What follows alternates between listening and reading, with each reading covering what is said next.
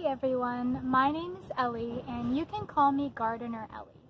And I am the new City Sprouts garden educator here at Cambridgeport School.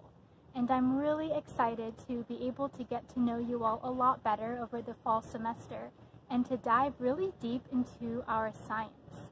And right now I am actually in your school garden here at Cambridgeport.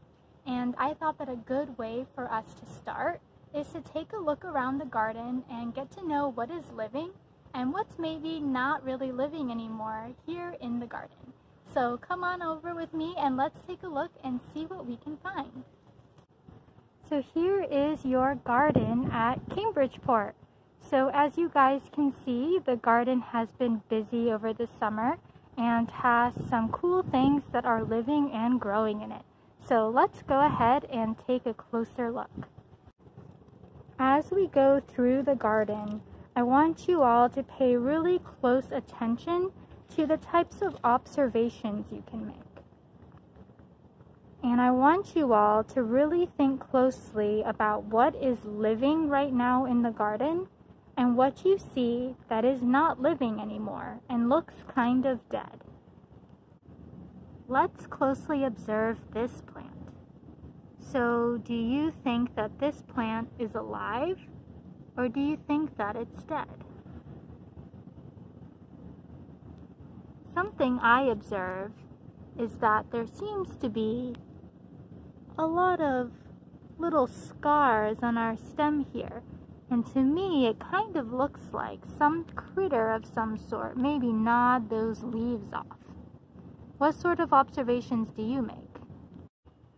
Let's take a look at this tree branch right here. So this looks like it fell off from this tree right over here. And if we follow it all the way up, there it is, already changing color for the fall, which is wonderful. But now if we take another look at our tree branch, what do you all notice? And do you think this tree branch is still alive? Or do you think it's dead? And if we come and take a really close observation of some of those leaves, let's give it a feel. So they feel very dry and they're kind of cracking and falling off of the branch as I touch it. It feels very brittle, very brittle and dry. I wonder how you would describe that if you all were here to give it a touch right now. Let's take a close observation of this plant. What do you think, living or dead? And why? So let's take another close look. And I see something kind of cool down here. Take a look at that. That's pretty cool. And if we give these a little touch, they're actually very smooth very smooth. So here's another log that is sitting in one of our garden beds. And I wonder what you think about whether this log is alive or whether it's dead. And do you think that this log will sit on this soil forever? And if not, what do you think will happen to it over time? How do you think it might change? And let's take a close look underneath. And look at that. So there's actually some living things that live underneath this log. Do you see all those critters moving around down there? Here's some more. So I wonder what these little critters are doing underneath the log. What do you all think?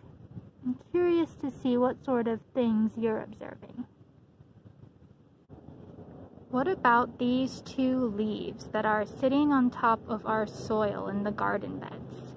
Alive or dead? And why? And do you think that all of these leaves that have fallen from the trees up above will stay here on the soil forever? And if not, where will they go and what will happen to them? Now that we've had a chance to take a closer look at the garden, I really encourage you all to make a scientific drawing in your science notebook. And that's because drawing what we see can really help us observe things even closer. So make sure that you make your drawings really large and really colorful and detailed. And remember that we can always add thoughts or questions or notes to our drawings as well. So when we make our scientific drawings, let's draw both something that was living and something that we thought was dead in the garden. And maybe start to write down some notes about similarities and differences that we see. So I'm thinking I might draw a picture of those two leaves that we saw at the end of the video. And I might add some thoughts about what I think happens to those leaves over time and where I think dead plants actually go. And now I'm really excited to dive deeper into this topic with you all. I think it's really interesting to think about where all of our dead things go and to really dive down deeper into those scientific mysteries. And so I will see you all in our next lesson. And until then, bye.